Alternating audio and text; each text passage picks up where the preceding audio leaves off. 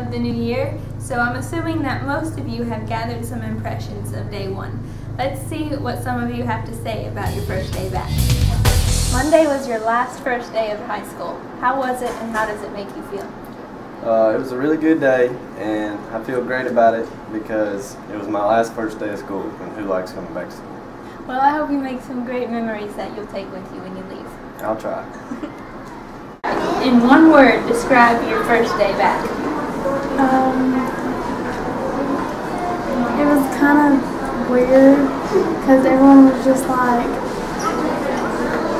talking and they were getting bored, I guess, because no one wanted to be. Well, that's more than one word, but I'll take it.